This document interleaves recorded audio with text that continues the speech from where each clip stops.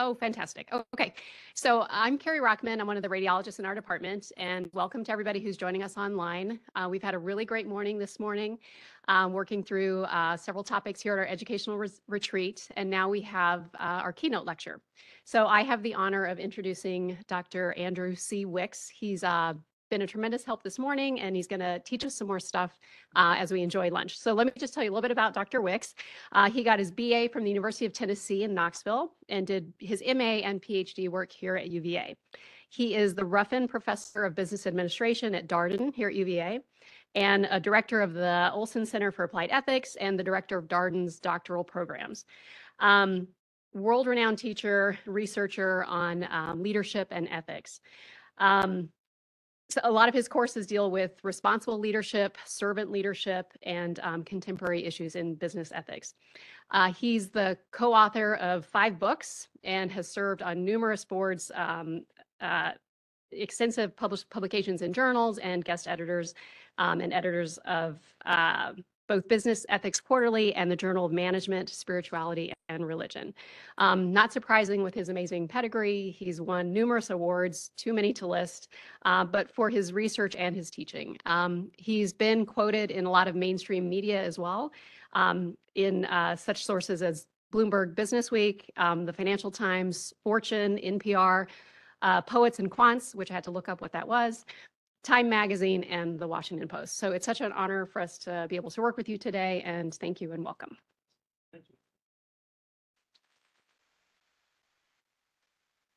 Thank you. For that warm introduction, and it's been a great pleasure to be with all of you. Thank you again for inviting me. I've really enjoyed our work this morning, and I'm looking forward to uh, more of it this afternoon. This is also going to be really awkward for me because I like to get up and move around. I'm going to have to be standing still for a little while, so please uh, bear with me. Um, I'm Andy Wicks. I teach at Darden. Uh, believe it or not, I've taught there now. In June, it'll be 22 years. How do I advance?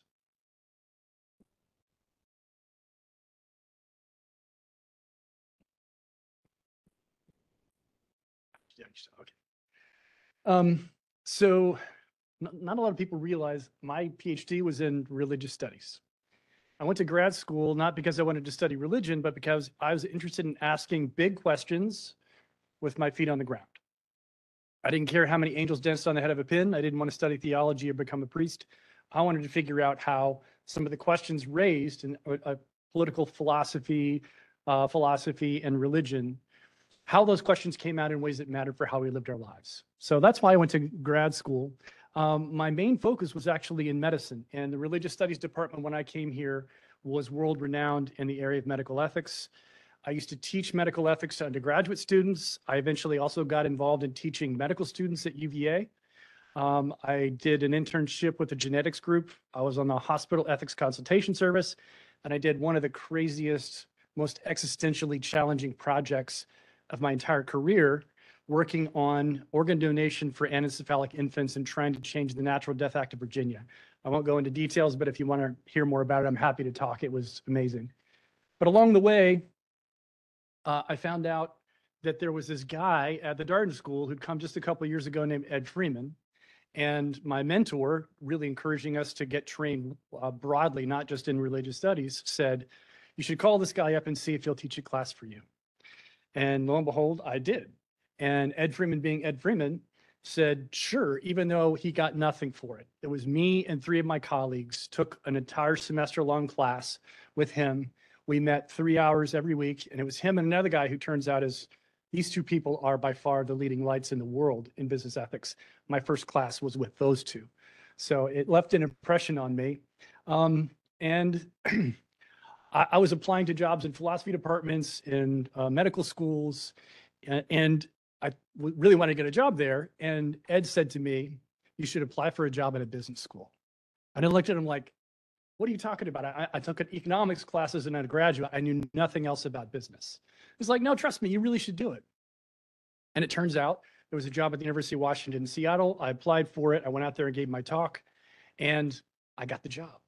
I thought I had pulled off the biggest uh, misrepresentation in history and fooled them entirely. And as it turns out, they needed somebody like me, and they knew that there weren't programs training them who really knew a lot about business, who also knew a lot about ethics. So I learned a lot on the job at the University of Washington. But one of the crazy things was my family and I moved from Charlottesville to Seattle. And I'm just thinking, I'm getting away from Charlottesville and medical ethics, moving to business ethics. Moved into my building, and literally that the summer that I transitioned, they had the Birth of Bioethics conference at the University of Washington in Seattle, because that's where bioethics really in its modern formulation came into being, in the building right next to our building. And I decided, well, this is kind of creepy, but I think I'll go ahead and go and listen. And so all the all these amazing people in medical ethics showed up to talk about medical ethics. And even though this was the beginning of the managed care era, they weren't talking at all about business. They weren't all at all talking about the institutions that delivered the care. It was either broad access to care or it was doctor or nurse interactions at the bedside. Those were the questions. Well, what I was dealing with in, uh, and you, you'll hear more about it when I talk about stakeholder theory, business ethics is much more around the institutions and how they function day in and day out. All the kind of questions that are not being talked about there. So the fact that we were skirting business led me in, uh, to write two papers early in my career on the interface between medicine and business. Um, one of the papers, the first one I wrote, was called Ivan Boesky or Albert Schweitzer, question mark, why we should reject the dichotomy between medicine and business. And I essentially said these are caricatures of these two realms that really don't make sense and uh, don't really measure up to how things work in the real world. Arnold Relman had essentially said, business is the enemy of medicine. And I wrote back and I essentially said, A, I think that that's an, uh, factually, I don't know how you do that, right? Is a hospital medical or is it business? Is a physician in private practice? Are they, I mean, they're making money, but they're also serving patients almost everywhere you go.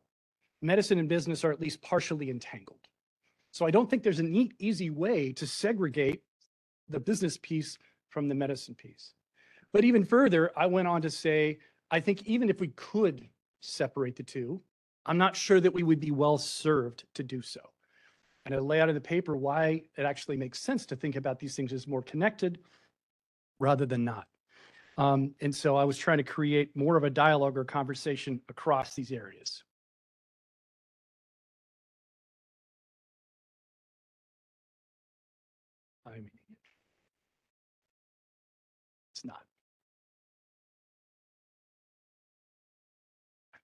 Must be hitting the wrong place. Um, so I, I rejected this idea. I see them as linked and uh, how they can help each other in the context of healthcare. Um, and uh, to me, this is a challenge for all of us. How do we create better models of thinking about and enacting medicine that reject this divide? And for me, this is about the need for new stories, new theories and strategies that can link the two and allow us to create excellence in healthcare. And to me, that's the goal. There's some people who say we should just turn medicine into another business and talk about our patients as customers. And to me, if you go that route, while I think there's some value in that, it gets kind of scary because we know how some businesses operate.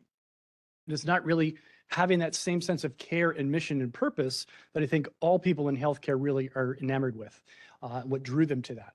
At the same time, it's acknowledging that we have these challenges around resources because if we can't pay for that care, we can't pay for the people who provide it, then we can't keep the lights on and, and we are not served as a community.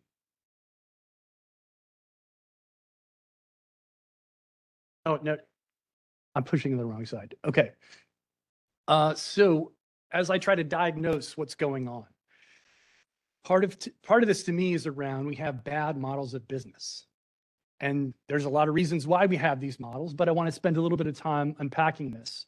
So one of the books that I wrote or co-wrote with some colleagues is a book on public trust in business. I've also written some academic articles thinking about the role of trust in business.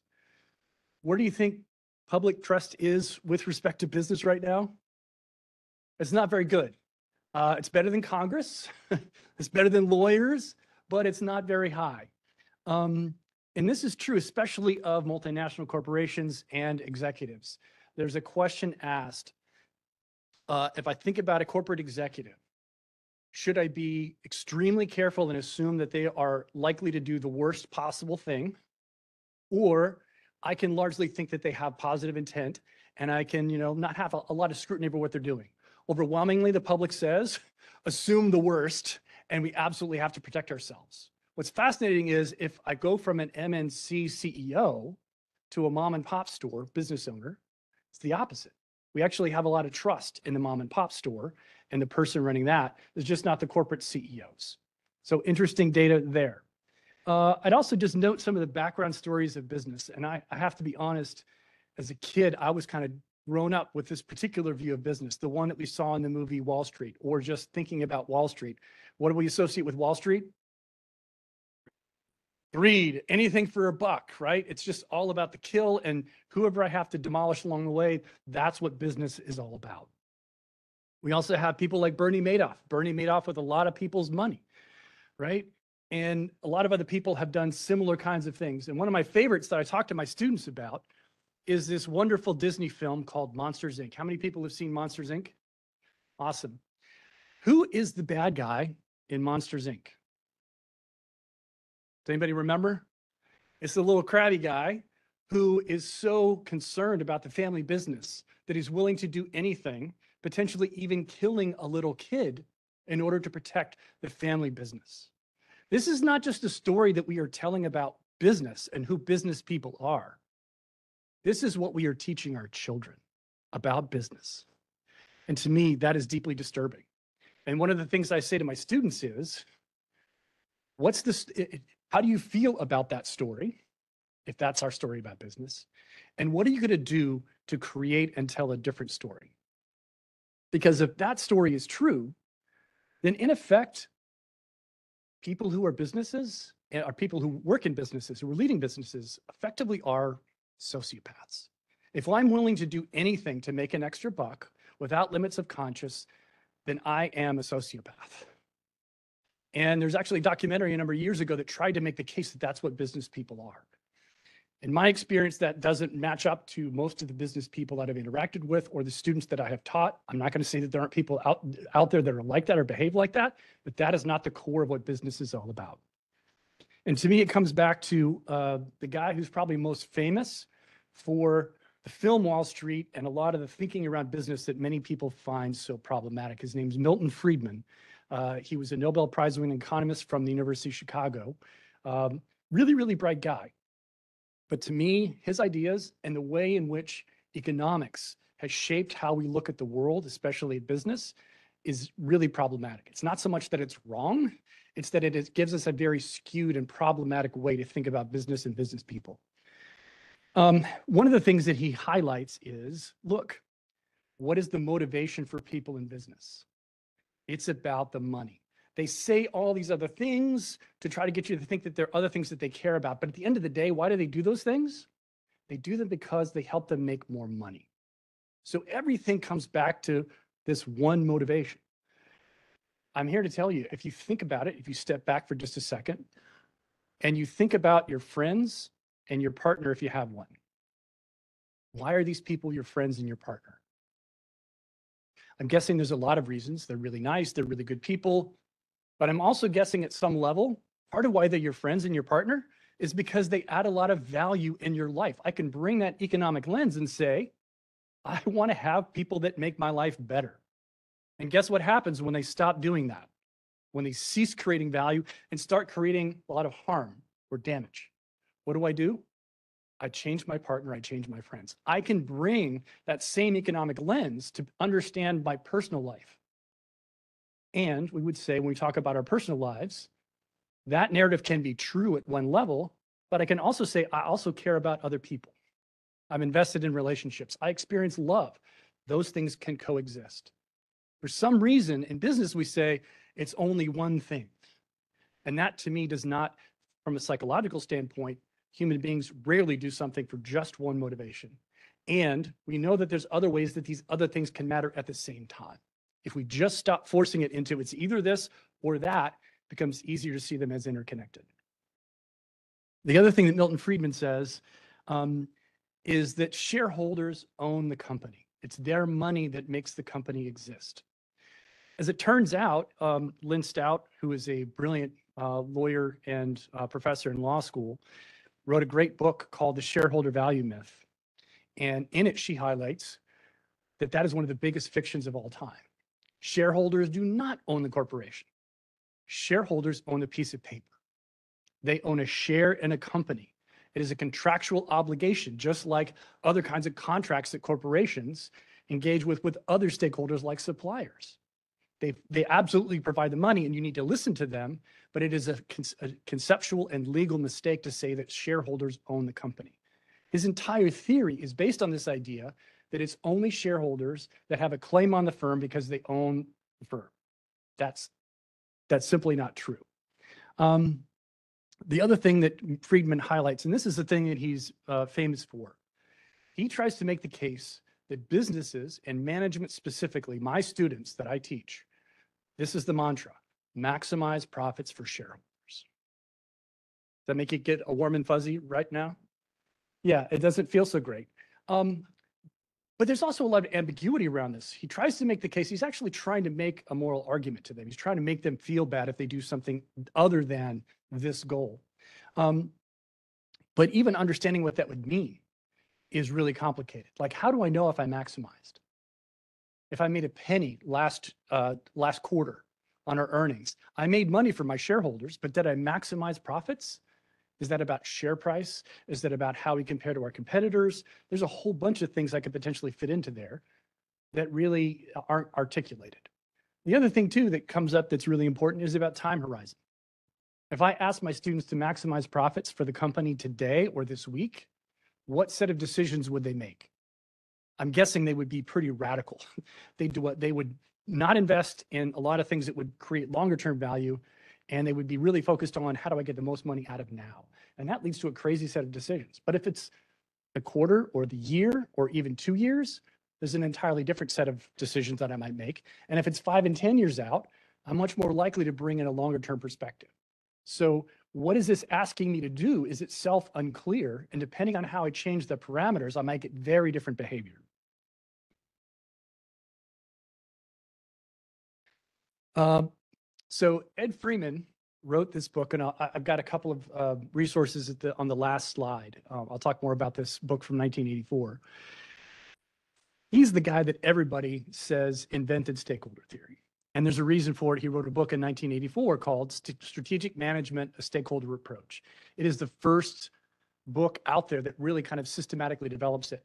And he goes out of his way to say, I didn't invent stakeholder theory because there were a bunch of uh, almost with any other idea, there's a bunch of other kind of germs that are out there that you uh, are dots that he connected.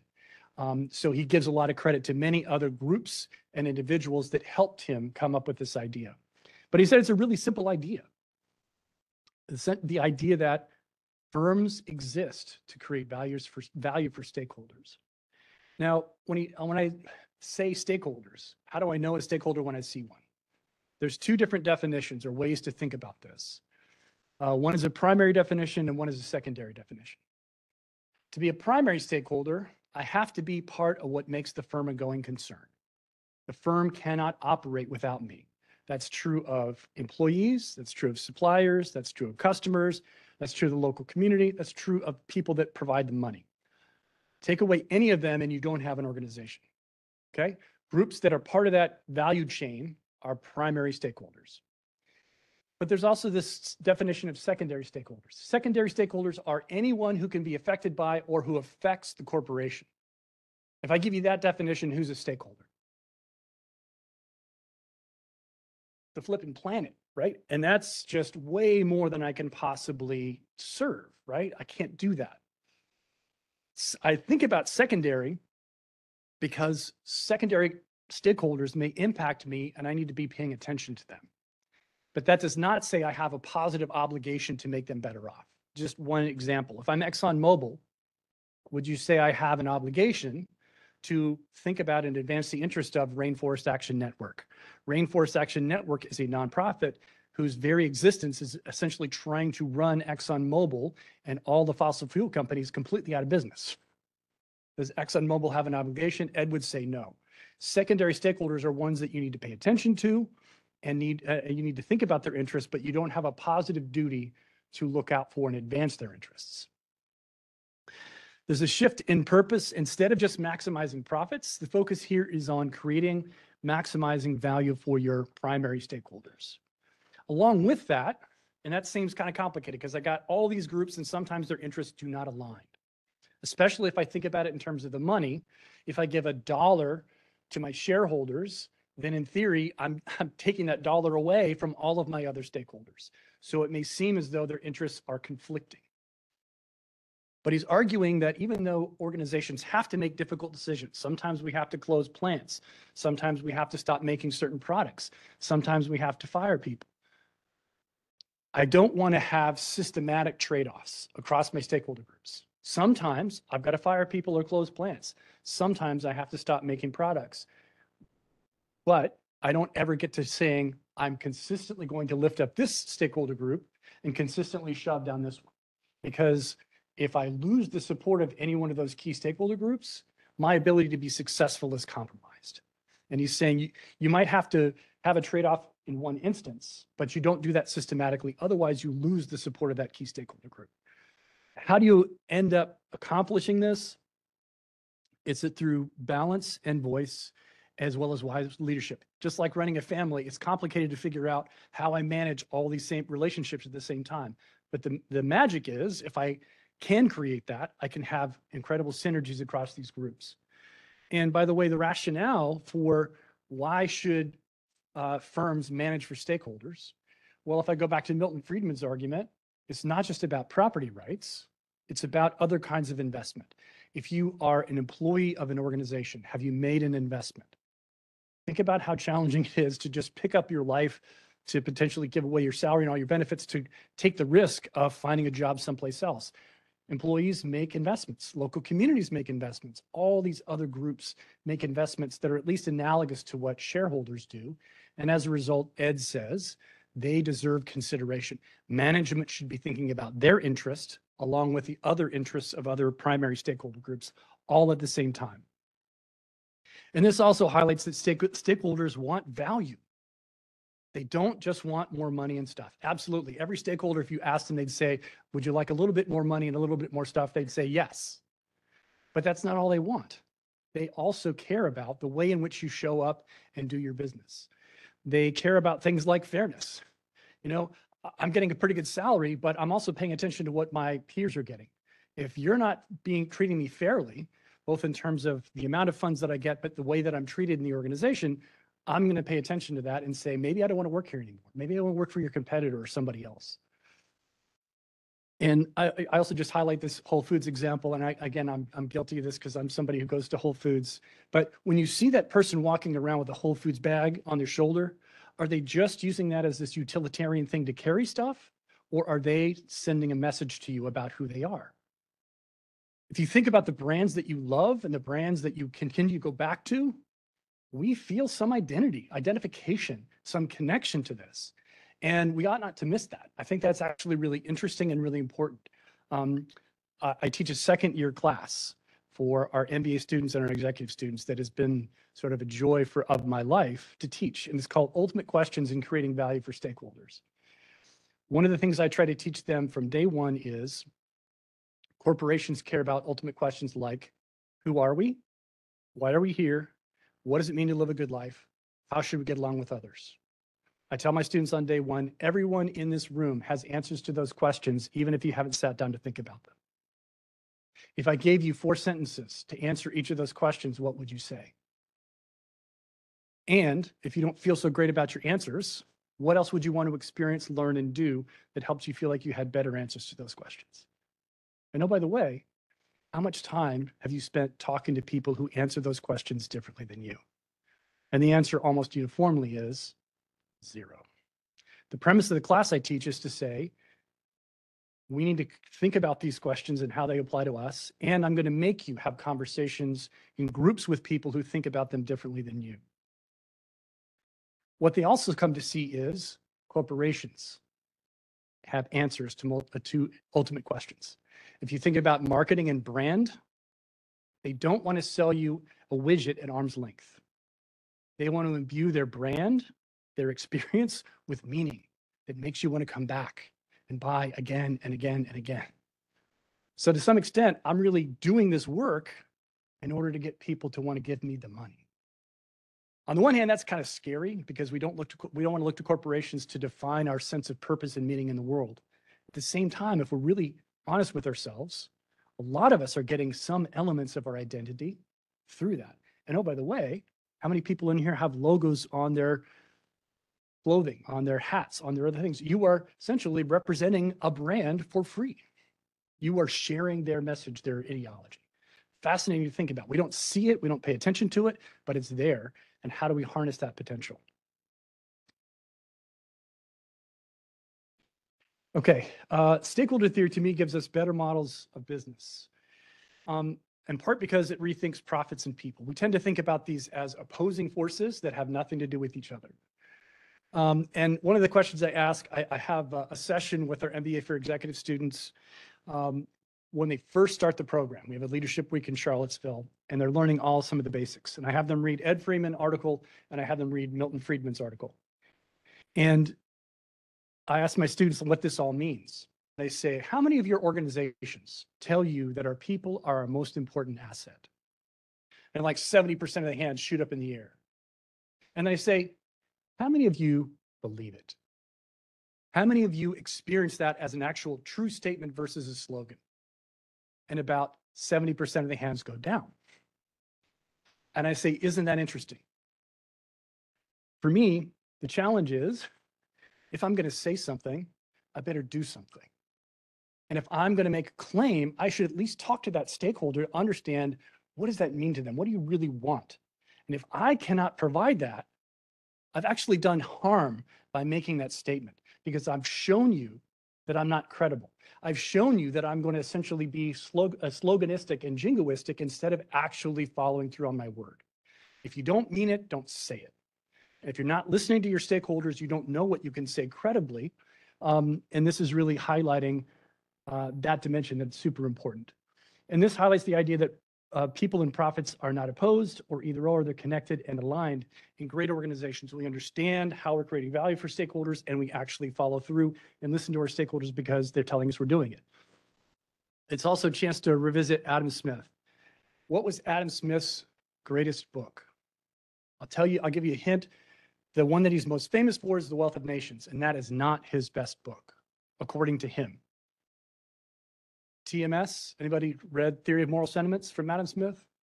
He thought of it as his, his best book. And what was true of economics for the most part before the start of the 1800s was most of the great economists were also moral philosophers, and most of the moral, great moral philosophers also knew something about economics. Then something happened when uh, economics decided to become the physics of the social sciences and essentially forget what's a human being, making some highly simplifying assumptions so they can bring mathematics and create these law-like generalizations. They essentially forgot what a human is. And to me, this is deeply problematic. Smith also had this view that self-interest absolutely was important, but self-interest for him was a moral ideal.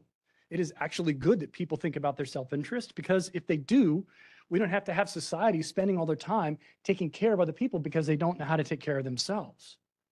And while they have to, they ought to think about their own interest, they have to respect the interests of others. Why is it in business that I get paid? Why would somebody hand over to me their hard-earned cash? It's because I have created something that they value. And not only did they value, but they value enough to hand me over that money. For Smith, it is both and.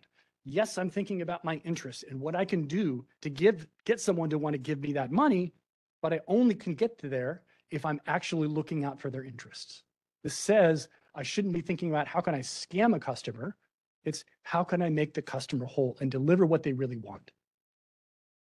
Um, so it's a both and rather than either or. I have a colleague who is one of the leaders in the world on entrepreneurship. Her name is Saras Sarasvathy. She created this idea called effectuation, which I highly recommend you look at if you're interested at all in that.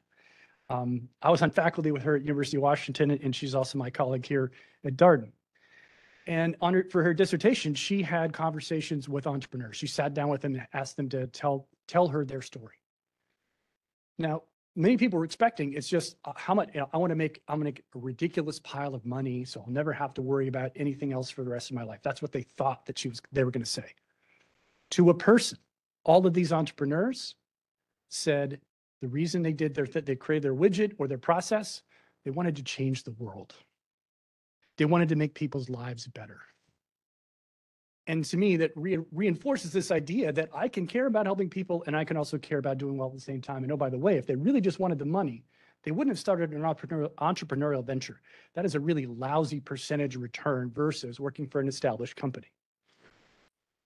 And what this suggests, what Freeman talks about is avoiding the separation thesis. It says that uh, separation thesis says there's business over here, there's ethics over here. They have nothing to do with each other. And people trying to bring them together are essentially, it's a lost cause because once you've defined them as independent, there's no way really to bring them back together again. Ethics is an extra, it's baked into our account of business and medicine. And even Friedman's view is based on values. While Friedman talks in the language of economics, if you go back to his article and you read it carefully, the foundation of it is about moral arguments, about the importance of individual freedom, about the right to be left alone by government, about the, the ability to do things with your own property for yourself and with other people to create new value. That's actually a very rich, interesting moral story. So it's not business versus ethics, it's holding these two things together.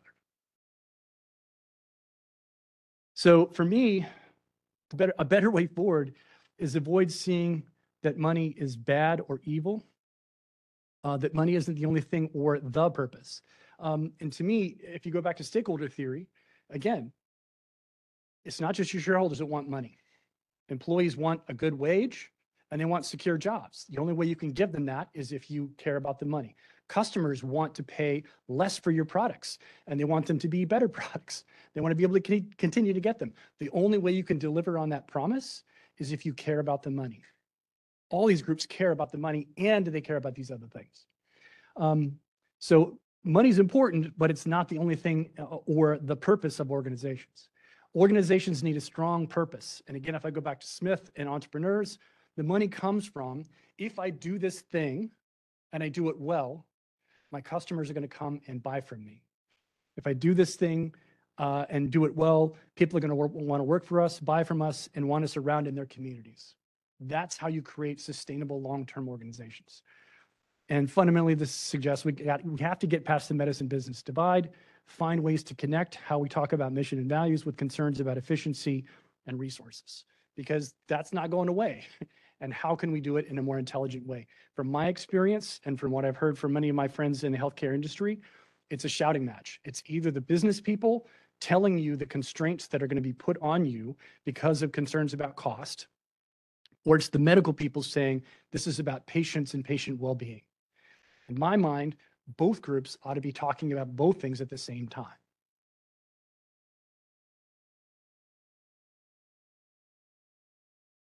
The last thing, um, just in terms of resources on stakeholder theory, while there's a this field has exploded. If you look at the literature on stakeholder theory, uh, it's massive now. Um, and as a matter of fact, this 2010 book, uh, Stakeholder Theory, the State of the Art, was really just trying to map out all the influences of places where stakeholder theory has gone. And it's it's immense. And that was 2010. It's gone even crazier now. Um, it started in ethics and management. It's diffused into these other areas, including healthcare, law, public policy, not-for-profits. Uh, the two books that I would most recommend if you're interested in this idea is Ed's 84 book and the book that we wrote together in 2010. The other thing I'd highlight that's really, I think it's cool, the Olsson Center that I direct and I run with my colleagues, we actually created a documentary film. And the documentary film was about the purpose of business and how we think about that today. Um, this happened um, just before the Business Roundtable changed their view. The Business Roundtable, which is this lobbying group for corporate uh, executives, used to say the purpose of business, according to us, is to maximize profits for shareholders. In 2020 or 2021, they changed the definition and they now say it's to create value for stakeholders. So Ed's idea has actually had that level of, of impact.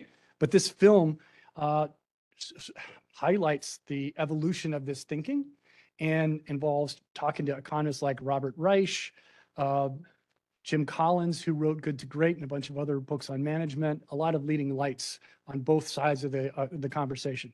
The last thing I'd mention that is to me super cool. Uh, anybody here know the name Michael Jensen of Jensen and Meckling? Jensen and Meckling are brilliant finance professors who created the theoretical ideas that supported Milton Friedman's argument. That's what gave it academic credence. In this film, he acknowledges that that theory was wrong.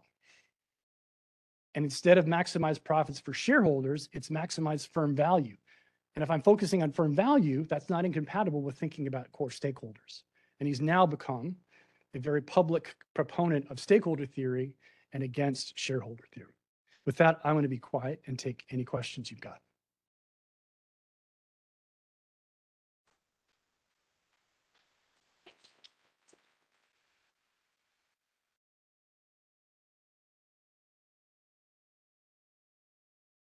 Once again, a Thank you for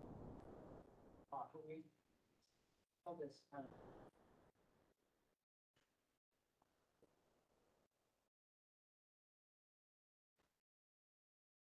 Patience, you know, also. Yeah.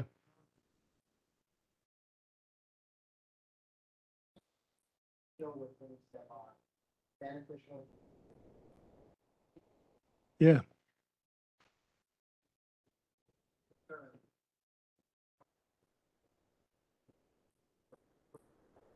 Yeah.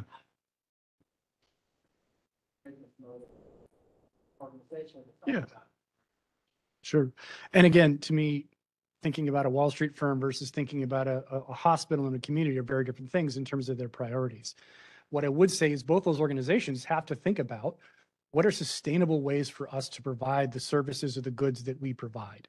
Because I can throw all the resources at solving problems, especially on things where there's no return or there's a minimal return.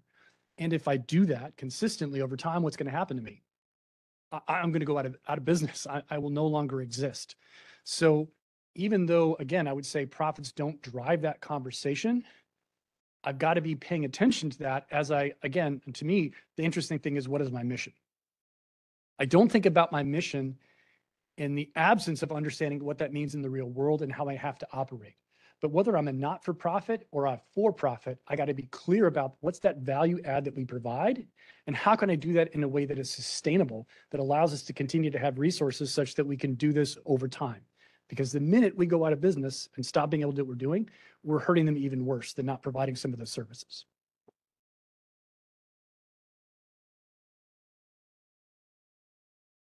Yeah. I don't really know. It's very small. It's very small.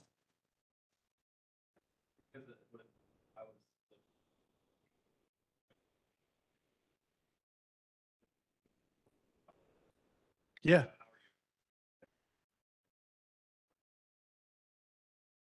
People that are interested in. Yeah. I'm like,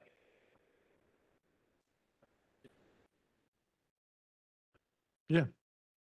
Like my point of view. Higher generation. That's what the company had to bring in. Yeah. So that means either getting too busy.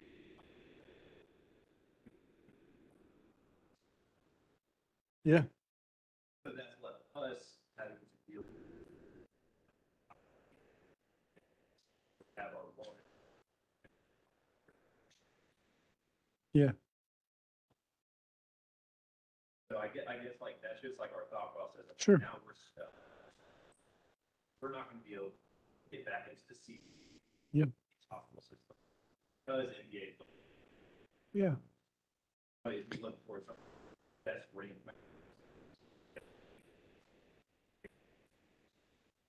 Yeah. So it's like, almost like I'm being roped up.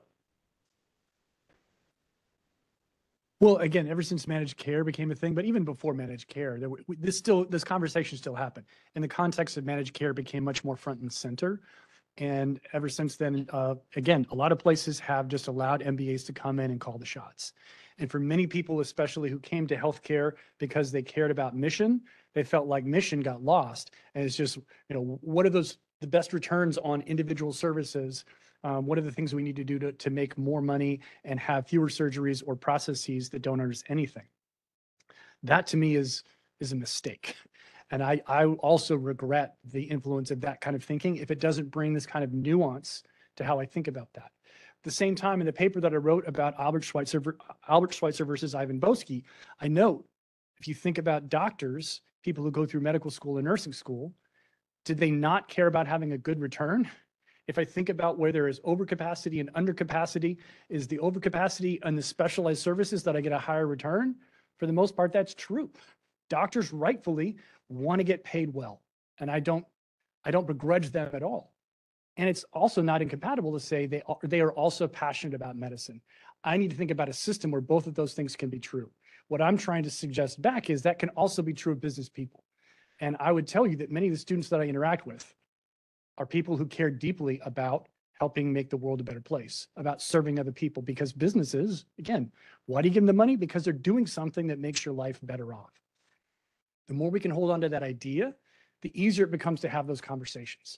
What I was ending with is saying, we got to get out of it's either or. Either I care about the mission and helping people, or I just care about the money. And if you're encountering people that the only thing that they know how to talk about is how to make more money, then you know that what they're bringing to the organization is not helpful.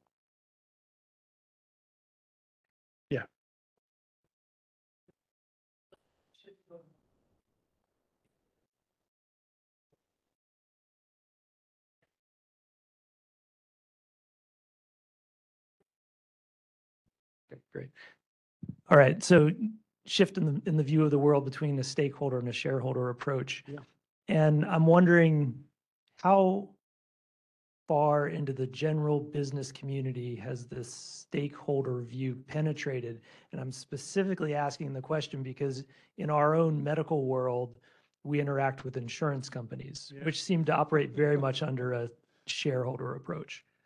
It's difficult, again, I mean, it, it's, it's a messy, complicated question to try to answer because there's so many different kind of organizations and ways of thinking. To me, it's changed a lot. When I first came to Darden, um, and I teach a class of 70 students in the first year, I teach Introduction to Business Ethics. We'd read these articles, and I, I was reminded just how skewed the room was. The first year I taught at Darden, I ended up bringing her back as a guest speaker in an elective I taught maybe 10 years after she'd been there, 15 years after she'd been there. And she remembered that conversation. At the end of the conversation, they read Ed, they read Milton. I have the students vote. Which of these two views most aligns with how you think business should run? That first year, I had 69 students who voted for Milton and one who voted for Ed. 69 to 1. Fast forward 22 years, what's that ratio now? It's about 80 to 20 for Ed versus Milton.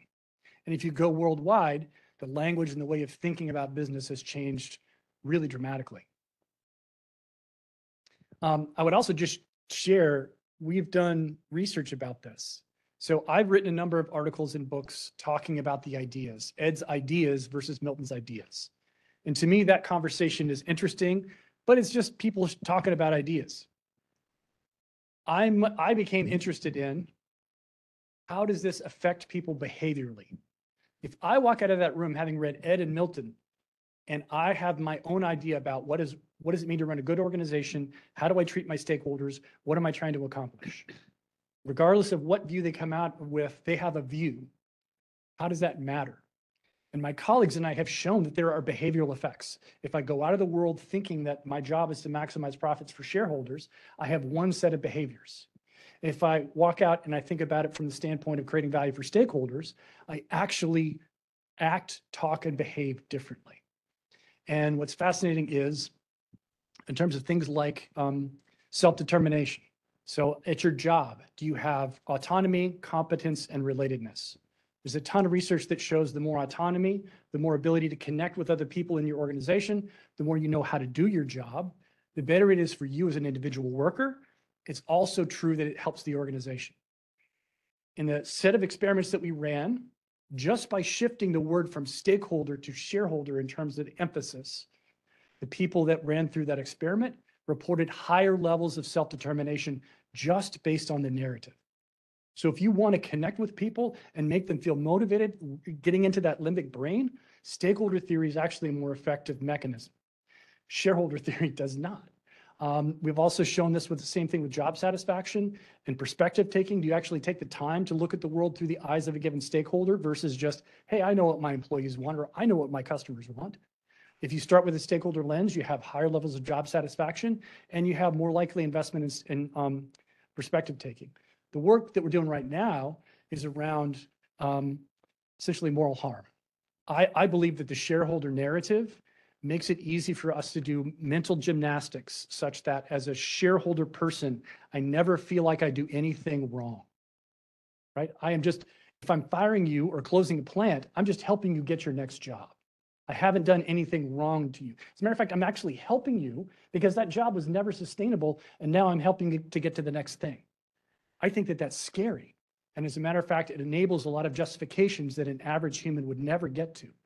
Whereas I think if you start with a stakeholder narrative, you may say we have to sometimes close a plant or fire a person because of the good of the collective organization. But I should feel bad about that, right? I have harmed a stakeholder whose my job is to actually benefit. I, I, I can still say we need to do that, but I will then go and approach that stakeholder and say, wow, that was hard for me. I feel bad. And I wish we could have done it a different way, but we still had to do it. To me, those are two very different worlds. And I really want to understand what's driving and motivating behavior because I want to see less of this corporate brutality on the world. I want to see more compassion coming out of what business is about. Can, can you speak to, um, I, I guess, uh, differences, uh, between states and, and Europe in, in this regard? Because, you know, in, our area, uh, the, our big vendors, Philips, uh. GE, Siemens, you know, the, the Philips and Siemens have had, uh, worker representation on their boards for a Yep. long time. You know, clearly, long-term viability of the company is a primary, um, uh, aim, which seems to be a lot more aligned with stakeholder, whereas the history of GE has all been about, you know, short-term profitability and, uh, and, and, and quarterly earnings. So, I, yeah, I don't know that that was true back in the 50s and, Mhm. and before, but it's certainly been true of the Jack Welch era and beyond. And, and and it's also true of a lot of other corporations. But your point is, uh, what's the difference between America and Europe in yeah, terms of with- this yeah, in thinking? terms of embrace of stakeholder theory. I mean, is that true? Th- Are they in a I different? I mean, when I, when I teach this stuff in Europe, it's like 99 to one. That they all line up behind Ed, and this is just kind of how they think about business. But it's also tricky because I would argue that you still see some European companies acting more from a Milton mindset. And this is the real difficulty. Like, you know, one of the things you might think about is Andy says there's shareholder and stakeholder. And so either I'm a shareholder or a stakeholder manager and a shareholder and stakeholder firm. I think it's more complicated than that. Sometimes I might think shareholder ideas and speak that way, but I'm actually, in terms of my behavior, I'm really doing a lot of things that Ed would ask me to do. Um, I, I might think I'm a real stakeholder person, but I, I have a lot of these ways of talking and behaving that look a lot like Milton. To me, it's got to be a blend of the two. You got to listen to the words, but as important, if not more important, look at what they actually do. But certainly from a rhetorical standpoint, Europe is much more in the shareholder camp. But I also think that the US it's happening and that business roundtable statement is one thing. But like I'm also saying about that, just because they say those words doesn't mean that they're doing those deeds. And we ought to be paying attention to that. The other thing, by the way, that Europe does that's really, really interesting is to me, one of the biggest challenges facing the world going forward. And that is we know how to measure shareholder returns. We're really good at that. What we're not so good at is capturing the actual footprint of organizations in the world. What's the effect on the climate? What's the effect on local communities? What's the effect on employees? Because while they may have really good paying jobs, maybe they're becoming de-skilled. Maybe they're becoming depressed and having significant psychological harm. I need to find metrics and ways of tracking that more complex notion of firm performance because I might be kicking butt when it comes to shareholder returns, but the way in which I'm going about that is actually causing a lot of harm to a lot of other groups. We ought to have tools that help us capture and measure that. And to me, that's one of the most important conversations happening today. Europe is ahead of the, the curve. I actually worked for an org, or I, I was a advisor to an organization called Vigeo. They've now been bought by Moody's. But this was what they did is they tried to go out and measure corporations and give reports that helped shine lights on all these other more complex aspects of what corporations do.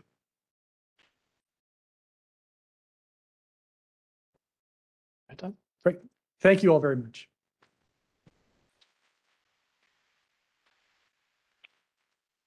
Thank you, Andy. Thank you to everyone who joined online. Um, we're going to close the meeting now and thank you for being here. Thank you.